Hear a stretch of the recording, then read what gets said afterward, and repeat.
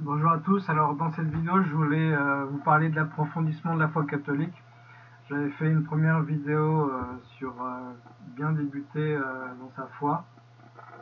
J'ai commencé par donner quelques ouvrages incontournables. D'une manière générale, je vous conseille de lire L'imitation de Jésus-Christ, notamment la, traduction de l'abbé de la Venec qui est très limpide. donc la foi, c'est à la fois la doctrine et la pratique.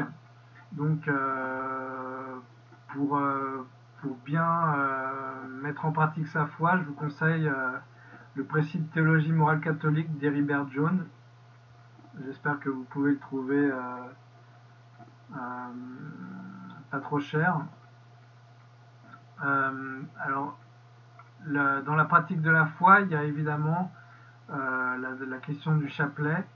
Euh, la Sainte Vierge dit qu'il faut le prier tous les jours, donc c'est assez facile de se lasser.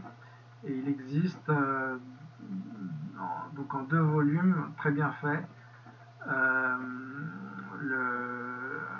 un ouvrage intitulé Pour aider à prier le chapelet, recueil de méditation des mystères du rosaire. Là, vous avez vraiment de quoi faire. Et alors, aussi un ouvrage concernant les indulgences Manuel des indulgences, Tes horizons pour le ciel aux éditions d'IFT. Saint Alphonse de Ligori, qui est aussi un grand euh, théologien euh, moral, a dit que pour devenir un saint, il suffit de gagner le plus d'indulgence possible. C'est une euh, voie de sainteté tout à fait accessible et fort louable. Et, donc, dans ce, dans ce manuel des indulgences, vous aurez pratiquement je pense que toutes les indulgences de l'Église sont recensées, donc ça vaut vraiment le coup de, l'acheter. Donc euh, la religion, c'est à la fois faire le bien et lutter contre le mal. Alors, euh, pour lutter contre les esprits impurs, il y a deux ouvrages très bien faits qui mélangent doctrine et prière. Peut-on se libérer des esprits impurs et pour se défendre du malin? Euh, alors moi je suis très proche de la spiritualité carmélitaine, j'aime beaucoup cette spiritualité, je pense que c'est la, meilleure pour s'unir à Dieu. C'est celle qui a développé le plus loin, euh, euh, qui a thésaurisé le plus profondément l'union à Dieu. Alors pour avoir une vision d'ensemble et synthétique, je vous conseille l'ouvrage de référence Je veux voir Dieu du Père Marie-Eugène de l'Enfant Jésus. Si vous voulez approfondir la spiritualité, carmélitaine, je vous conseille l'histoire d'une âme de Sainte Thérèse de Lisieux, qui est patronne secondaire de la France aussi, avec Sainte Jeanne d'Arc. La sainte, patronne principale, je vous le rappelle, étant la, très sainte Vierge Marie. je vous conseille aussi, pour approfondir la spiritualité carmélitaine, le livre des demeures de Sainte Thérèse d'Avila. Euh, il y a aussi les ouvrages de Saint Jean de la Croix, mais bon, euh, pense qu'on peut les résumer très brièvement en, disant qu'il faut se détacher de tout euh, pour se laisser remplir de Dieu. Euh, alors sinon, pour, euh, alors pour mieux lire la Bible, avoir un esprit de religiosité, faire le point, se ressourcer, je vous conseille de faire une retraite spirituelle selon les exercices de Saint Ignace de Loyola. Et donc je vous conseille implicitement d'acquérir l'ouvrage des exercices spirituels de Saint Ignace de Loyola. Alors je vous conseille de faire la retraite chez des traditionnalistes en union avec Rome, c'est-à-dire la Fraternité sacerdotale Saint-Pierre et l'Institut du Bon Pasteur. Euh, alors je précise que la Fraternité sacerdotale Saint-Pédis n'est pas en union avec Rome, ils sont donc schismatiques. Euh, alors pourquoi chez des traditionalistes euh, Tout simplement parce que je pense qu'ils vont suivre euh, rigoureusement la méthode de Saint Ignace de Loyola. moi j'ai eu l'occasion de faire deux retraites déjà, mais c'était au, centre Manrez à Clamart, donc en Ile-de-France, dans le 92, chez les jésuites. Euh, alors la, première, euh, alors, déjà bon, la première retraite ça a été de 5 jours, c'était une retraite d'initiation. J'en ai, j'en ai été très content, euh, mais je pense que enfin, par contre, ils n'ont pas respecté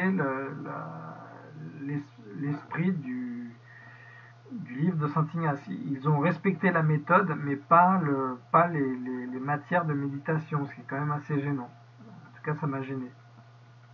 Et donc, je, suis, euh, je, suis retourné pour une retraite de 10 jours. C'était euh, bah, l'été dernier, en 2017. Je suis, suis resté 10 jours et bon, là, là non plus, il, ne m'aurait pas fait euh, méditer sur les, sur les sur la méthode, euh, enfin sur les textes proposés, sur les, sur les matières de méditation proposées par le livre de Saint Ignace.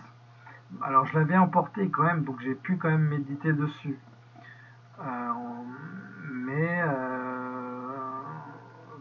enfin, si j'avais pas eu le livre, j'aurais pas pu méditer sur les sur les, thèmes de Saint Ignace.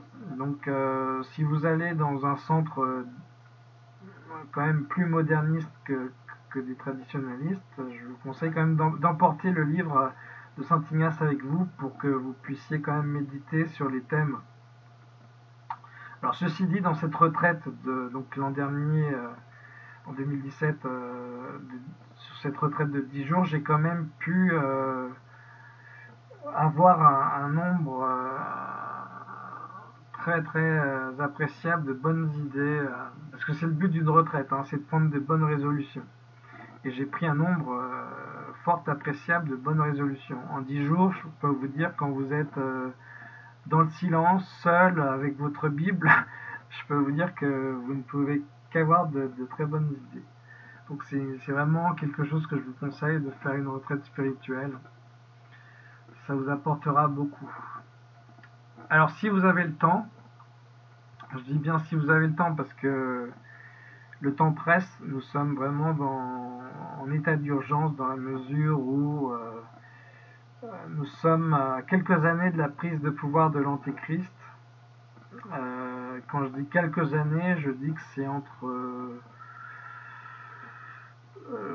entre, entre 2 et 10 ans hein, maximum grand maximum, vraiment grand maximum.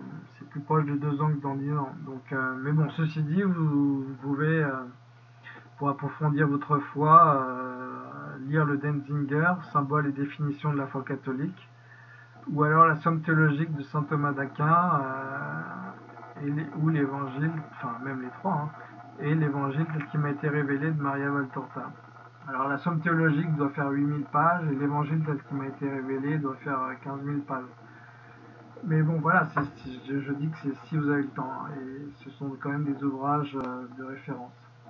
Que Dieu vous bénisse et à bientôt.